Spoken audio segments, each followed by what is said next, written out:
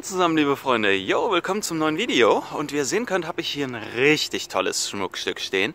Das ist ein Cadillac Eldorado von Baujahr 73. Dieses wirkliche Kulturgut hat 44 Jahre auf dem Buckel. Das ist eine richtig geile Zeit. Hartzulassung, alles dabei.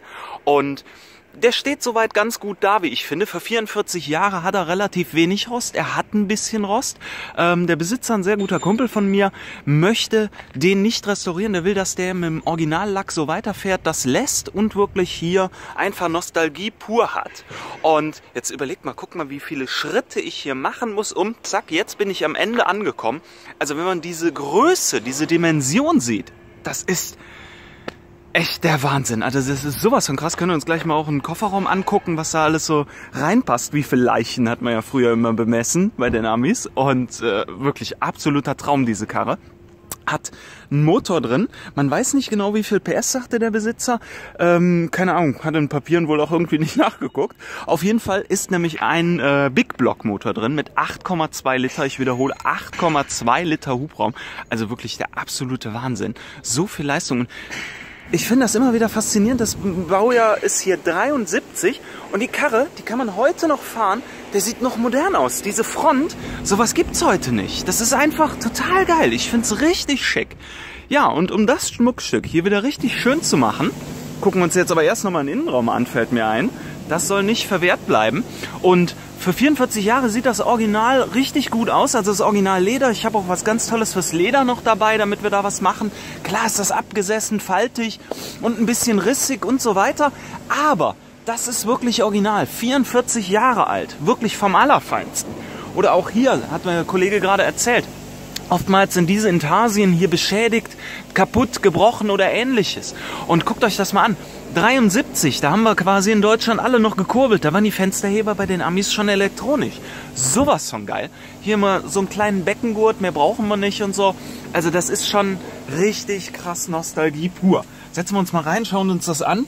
Riesengroßes Cockpit. Wir haben die Möglichkeit hier auch, na, da ist sie, die Klappe hier, die Mittelarmlehne wegzunehmen. Dann haben wir hier quasi eine komplette Durchreiche, weil klar, wir haben ja hier den Automatikhebel dran. Und guckt euch das mal an, ich bin total begeistert von der Karre.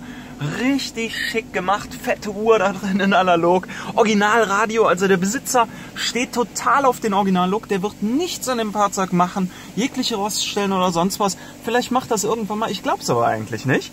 Und gerade hier auch Armaturenbrett, keinerlei Risse, Brüche oder ähnliches. Bei 44 Jahren ganz schwer zu finden in diesem Zustand. Und auch hinten, Kindersitz fährt mit seinem Kleinen natürlich auch immer ein bisschen rum. Gucken, wie das hier geht. Genau, wird einfach nur so umgeklappt. Guck mal, zack, so. Und so sieht das Ganze hinten aus. Also man hat da Platz en masse. Das ist wirklich super krass. So Freunde, ich habe es hinbekommen. Ich habe die Motorhaube, boah, guckt euch das mal an, das ist so ein Schlachtschiff. Ich habe die Motorhaube und den Kofferraum geöffnet. Motorhaube sau schwer, obwohl da starke Federn drin sind. Total geil, keine Gasdämpfer oder sonstiges. Da sind wirklich ein paar Federn dran. Da könnt ihr gar nicht sehen, da drüben könnt ihr sie sehen. Da hängt die dicke Feder. Und jetzt schaut euch mal diesen Motor hier an. Also das ist ein Aggregat. 8,2 Liter. Der säuft meinen Z4 oder saugt den auf. Also das ist sowas von pervers. Richtig krass, dieser Motor. Also wirklich vom Allerfeinsten. Ja, Mehrklanghupe, alles dabei. Ich weiß gar nicht, ob die angeschlossen ist. Ich glaube, das darf man gar nicht in Deutschland. So, jetzt gucken wir uns noch den Leichenbehälter alias Kofferraum an. Und das ist sowas von pervers, wie groß dieses Teil ist, Leute. Das ist so unvorstellbar. Ich hoffe, ihr könnt das erahnen. Also, wenn ich mal hier einen kleinen Schritt reinmache. also, äh, ne, also ich sitze jetzt hier drin und ich habe hier so Platz en masse und das geht ja noch ein ganzes Stück hier rein. Also das ist sowas von pervers, wie viel Platz hier drin ist. Und wenn ich es mir jetzt hier gemütlich mache, ihr seht das ja, da ist so viel Platz. Also das ist schon wirklich eine ganz, ganz, ganz krasse Nummer. Hier liegt noch so ein Reifen drin, der nimmt keinen Platz weg. Wirklich der Wahnsinn. Ja, was habe ich alles dabei? Das zeige ich euch jetzt, womit wir den Wagen waschen. Ja, dabei habe ich die ganz neue Serie von äh, McGuire's, Mirror Bright, so heißt das. Und da habe ich mitgebracht den Wheel Cleaner. Müssen wir gucken, ob wir den überhaupt brauchen. Da sind jetzt äh, irgend so ein paar Felgen drauf. Habe gar nicht richtig drauf geachtet. Dann haben wir das äh, Automobile Shampoo. Dann das Detailing Spray was wir auch für den Innenraum benutzen können und die Leather Lotion, die ich auch noch angesprochen habe. Natürlich Snowfoam und so weiter. Warum habe ich jetzt explizit die McGuire Sachen hier mitgenommen? Das sind wirklich sehr, sehr schonende Reinigungsmittel, die wirklich ganz sanft sind und gerade für so ein altes Fahrzeug wie dieses hier optimal sind. Genau, hier die Felgen, die ich angesprochen habe. Das sind ein paar Radkappen. Können wir mal ein bisschen mit drüber gehen? Ist nicht so viel drauf, wird halt wirklich auch nicht viel bewegt, der Wagen. Ja, würde ich sagen, legen wir einfach mal los. Ich habe auch vorgesorgt, genau, Gloria. Ähm, bei der Größe werden wir auf zwei Glorias gehen, sprich zwei Füllungen brauchen wir damit. Einer kommen wir nicht hin. So, los geht's. Starten wir mit dem Wheel Cleaner. Der ist pH-neutral, ganz wichtig als Hinweis. Und dann springen wir jetzt mal hier die Radkappen ordentlich ein, damit hier was runtergeht. Lassen das Ganze einwirken und dann geht's gleich weiter. Ja, mixen wir uns jetzt also die Gloria zurecht. Liter Gerolsteiner, nein, haha, Leitungswasser ist drin. 15 Milliliter Snowfoam jetzt auch. Und das ist immer so der Running Gag. Jetzt kommt das Shampoo. Da bin ich mal auch auf den Geruch gespannt fruchtig, ein bisschen fruchtig würde ich dazu sagen. Boah, guckt euch mal an, wie dickflüssig das ist. Boah, krasses Zeug. Das sollte schon reichen. Und dann würde ich sagen, machen wir jetzt äh, direkt mal die Schaumbäche. So, los geht's mit der Schaumbäche. Und ja, das Zeug ist wirklich richtig dickflüssig und dementsprechend macht das auch ein ganz, ganz tolles Schaumbild. Das sieht doch mal richtig geil aus. Dementsprechend, ich schäume den Wagen soweit komplett ein. Ja, muss nämlich wieder pumpen. Und dann geht's gleich weiter. So Freunde, auf dem weißen Lack ist es jetzt nicht ganz so auffällig mit dem Schaum, aber ihr seht, ich habe circa die Hälfte des Fahrzeugs mit einer Ladung hinbekommen. Und da soll jetzt noch mal einer sagen, mir reicht äh, eine Gloria-Füllung für meinen, was weiß ich, kleinen Zweisitzer oder sonst was nicht. Also man schafft's mit einer äh, Ladung auf jeden Fall mit ein bisschen Übung. Und so sieht das jetzt schon bei der Hälfte ganz gut aus. Sogar ein bisschen mehr als die Hälfte ist es geworden. Dementsprechend mache ich mir jetzt die zweite Mischung fertig Oh, das ist echt gut anstrengend. Mache mir ähm, die Fahrerseite noch mit, schön voll mit Schaum und dann können wir den Wagen absprühen.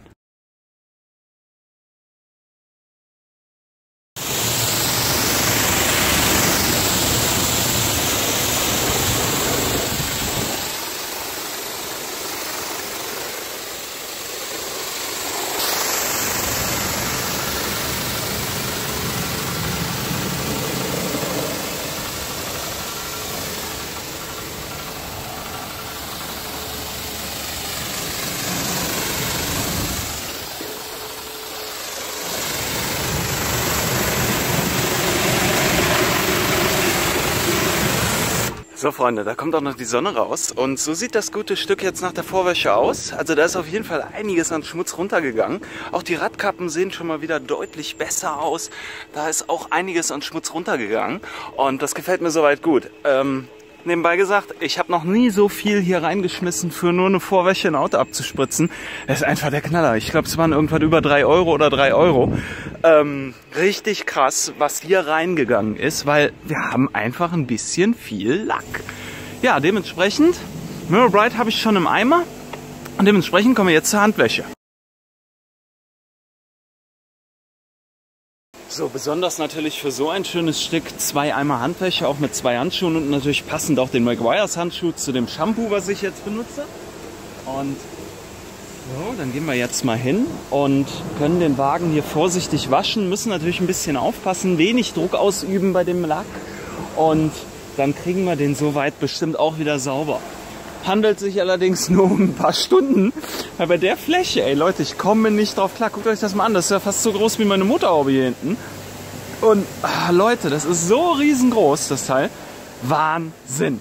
Ja, dementsprechend, ich wasche den Wagen jetzt komplett und dann geht's gleich weiter. Ja, Freunde, ihr seht's, da ist überall Schaum auf dem Fahrzeug. Ich bin groggy, sagt man hier. Ich bin fix und alle.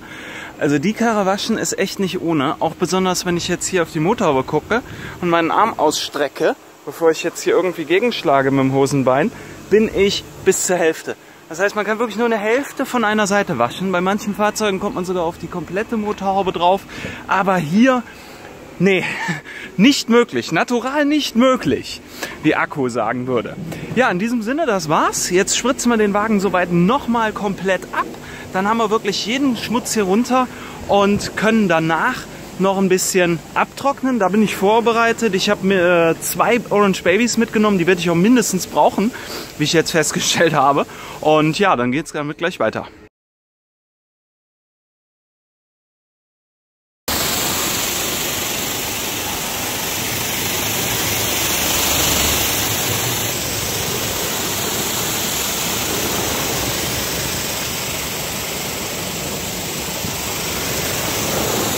Ja, Freunde, wie ihr jetzt sehen könnt, Fahrzeug ist soweit fertig. Sieht soweit wieder richtig gut aus. Ich frage mich auch gerade, könnte man damit überhaupt in so eine Waschanlage wirklich fahren? Bei der Länge, das ist sowas von krass. Der würde nie im Leben in meine Garage passen. Es ist sowas von ein Riesenschiff. Guck mal, wie viele Schritte ich hier machen muss, damit ich am Ende ankomme. Können das mal ungefähr versuchen. Eins, zwei, drei, vier, 480, fünf Meter irgendwas in der Länge hat der locker. Also wirklich richtig krass, total ach, komme ich nicht drauf klar. Wichtig noch als Hinweis, wenn ihr so ein altes Fahrzeug wascht, der Lack ist natürlich 44 Jahre in dem Fall alt und dementsprechend natürlich auch nicht mehr der beste, wie man ja an manchen Stellen hier gesehen hat. Ähm, haltet mit dem Hochdruck ein, ja, das wollte ich sagen, auf jeden Fall einen großen Abstand, so dass ihr den Lack möglichst nicht beschädigt. Das ist ganz wichtig. Gerade wenn hier so ein paar Abplatzer und sowas sind, der Kollege hat gesagt, der lässt das so, der will das nicht ausbessern, ist Originalität, okay. Dann müsst ihr aber auf jeden Fall hingehen und großen Abstand beim Hochdruck einhalten oder aber ihr arbeitet damit zu Hause mit dem äh, Wasserschlauch und waschen damit. Ja, dementsprechend das hätten wir fertig und dann kommen wir jetzt zum Abtrocknen. Ja, Freunde, ich muss wieder lachen. Ich komme auf diese Größe halt nicht klar.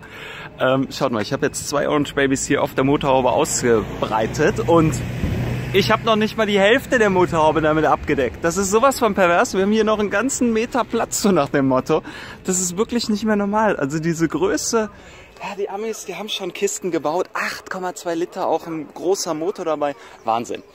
Wir benutzen jetzt, äh, Misten brauchen jetzt hier mal aus der Mirror Bright Serie von McGuire's das Detailing Spray. Mal gucken, ob das was bringt, was funktioniert beim Abtrocknen uns zu helfen und ein bisschen Glanz aus dem Lack zu holen. Das ist nämlich äh, ein Schnellreiniger. Wenn ihr Vogelkot auf dem Lack habt, könnt ihr das benutzen. Ihr könnt das aber genauso auch im Innenbereich benutzen. Und ja, wir verwenden das, wie gesagt, jetzt mal als Hilfe hier ein bisschen zum Abtrocknen. Ne, einmal aufdrehen, neue Flasche. So, ein bisschen da drauf und ich denke, da kriegen wir auch noch mal ein bisschen kleinen, schönen Glanz raus. Auf jeden Fall, hm, richtig geiler Geruch, richtig toll. Das gefällt mir auf jeden Fall sehr gut. Und ihr seht, der Lack lässt sich auf jeden Fall gut abtrocknen. Das geht ganz easy hier mit dem Orange Babies. Mache ich soweit komplett und dann sind wir auch gleich durch. So Freunde, und da schaut mal, so sieht das gute Stück jetzt wieder aus. Also es steht auf jeden Fall schon wieder richtig gut da. Tausendmal besser als vorher. Also ist wirklich eine Menge Schmutz runtergekommen. Und ähm, ja, dementsprechend, so sieht der Wagen jetzt aus. Also wirklich für 44 Jahre alten Lack finde ich, ist das wirklich ein Traum. Und was mich auch fasziniert hat, ich dachte, das Fahrzeug wird im Innenbereich deutlich nasser, weil das kennt man ja auch so, dass die Fahrzeuge gerade aus den USA und die alten Fahrzeuge einfach gar nicht so wasserdicht waren, um es jetzt mal so auszudrücken, wie heute aktuelle Fahrzeuge. Und ist aber nicht der Fall, also ist eigentlich relativ nix. Also auf der Beifahrerseite gar nicht, auf der Fahrerseite gab es so zwei, drei Tropfen. Ja, dementsprechend machen wir jetzt noch ein bisschen Innenpflege, hatte ich ja angesprochen. Detailing Spray für die Reinigung von Kunststoffen und so weiter und die schöne Leather Lotion für das Leder. Und das ist auch so krass weich. Ah, Amis, ey, geil. So, wie angekündigt, kümmern wir uns jetzt erstmal um die Kunststoffteile. Und da habe ich jetzt mal hier den McBriars äh, Mirror Bright Detailing Spray oder das. Und gehe hin und sprühe mir hier etwas auf das Tuch drauf. So. Und dann kann ich hingehen und die Kunststoffteile hier in einem Arbeitsgang reinigen und genauso auch gut pflegen, dass dieses schöne, so alte Armaturenbrett auch okay bleibt. Und guck mal, was das hier an Schmutz runternimmt. Also das ist auf jeden Fall nicht zu verachten. Das finde ich echt cool. Jetzt einfach nur so ein paar kleine Bewegungen. Zack holen wir jegliche Verschmutzung runter und wir sehen, das glänzt jetzt nicht dadurch oder ähnliches, sondern die Originalität, die dem David sehr wichtig ist, bleibt enthalten. Und das ist perfekt. Das mache ich soweit fertig mit dem allem im Kunststoff hier im Innenbereich und danach kümmern wir uns noch um die Sitze. Ja, ich bin jetzt soweit durch mit den Kunststoffteilen und dann können wir uns jetzt mal hier um die Ledersitze kümmern und da gehen wir hin und nehmen aus der Mirror Bright Serie die Leather Lotion. Riecht richtig geil. Ich habe sie gerade mal aufgemacht und genau, ist hier so ein Sicherheitsverschluss, den habe ich gerade geöffnet. Also Kokos, Kokosnuss vielleicht irgendwas in der Richtung. Jojobaöl hatte ich mal im Netz gelesen und auch hier, wow, krass. Das ist, das ist dickflüssig. Uh, viel zu viel. Deutlich weniger. So, und jetzt gehe ich erstmal hin und verteile mir da so ein bisschen hier, damit das nicht alles in die Ritzen geht. Da müssen wir ein bisschen aufpassen. So. Und im Endeffekt, das Zeug riecht sowas von geil. Total cool. Richtig angenehm. Das Schöne daran ist, oh krass, schaut euch das direkt mal hier an. Da kommt direkt so ein Glanz raus. Das macht das richtig schick, das Leder. Das macht zwei Sachen in einem Schritt. Das reinigt das Leder und zugleich wird es auch gepflegt und versiegelt. Das ist so ein Kombiprodukt und ja, das sieht auf jeden Fall richtig gut aus. Also da tut sich einiges. Und jetzt guckt euch das mal an, was hier für ein Schmutz im Leder ist. Und das machen wir mit diesem All-in-One-Produkt. Zwei Schritte in einem. Wirklich richtig geil. Und der ganze speckige Look geht weg, merke ich gerade. Ich mache es jetzt mal genau bis zu diesem hier und dann können wir uns das gleich mal angucken. Und das war jetzt nur einmal hier kurz drüber gehen. Und das ist wirklich eine Sache von ein paar Minuten. Ja, guckt euch das mal an. Das ist echt eine Schweinerei, was da runterkommt. So, und jetzt schaut euch das mal an. Ich hoffe, je nach Lichtanfall könnt ihr es sehen. Bis genau hierhin war ich. Und hier ist es nämlich deutlich anders von der Farbgebung. Hier ganz extrem. Und auf der Fahrerseite sieht das natürlich auch nochmal krasser aus. Mache ich soweit komplett fertig. Da habe ich auf jeden Fall noch ein paar Meter Leder vor mir. Und danach sind wir soweit durch und dann gibt es einen Showdown. So, und jetzt schaut euch das mal an. Das ist, was hier von den Ledersitzen runtergekommen ist. Also das ist auf jeden Fall einiges. Und für so eine sanfte Lederlotion ist das wirklich ein super geiles Ergebnis. Und der Geruch, Herr David ist auch gerade wiedergekommen, hat sich das Ergebnis jetzt angeguckt, meinte auch direkt, Mann, der Duft ist der Wahnsinn. Ja, dementsprechend, soweit sind wir damit durch. Und ja, dann kommen wir jetzt zum Showdown. So Freunde, da seht und hört ihr auch ein bisschen das kleine Teil. V8 ist immer so krass, wie unrund die laufen. Finde ich jedes Mal wieder faszinierend. Hat auf jeden Fall tierisch Bock gemacht, dem David hier die Kiste zu waschen. Äh, ich hatte gerade noch mit ihm gesprochen. Er fährt den Wagen jetzt voraussichtlich noch diese Saison. Und wer Interesse hat an dem Wagen, zur nächsten Saison will er den wahrscheinlich abgeben. Da kann ich gerne den Kontakt herstellen. Schreibt es einfach in die Kommentare. Ja, dementsprechend, Wagen sieht soweit wieder richtig gut aus. Mit den Maguires Sachen hier hat das richtig Bock gemacht. Ganz sanfte, schonende Reinigung hat funktioniert. Tolle Gerüche auch bei den Produkten dabei. Und so kann sich das Fahrzeug wirklich wieder sehen lassen und hören lassen. Also wirklich richtig krass, wie groß der Wagen ist. Da komme ich bis jetzt nicht drauf klar. Und auch im Innenraum sieht die Kiste soweit wieder richtig schick aus. Das kann sich sehen lassen. Vom Allerfeinsten. Schreibt es gerne in die Kommentare. Na, jetzt, jetzt kriegt die Kamera hin. So, und dann sieht das doch wieder toll aus, das Fahrzeug. Und ja, ich hoffe sehr, das Video hat euch gefallen. Wenn dem so ist, lasst gerne den Daumen nach oben da und haut rein. Bis zum nächsten Video. Ciao.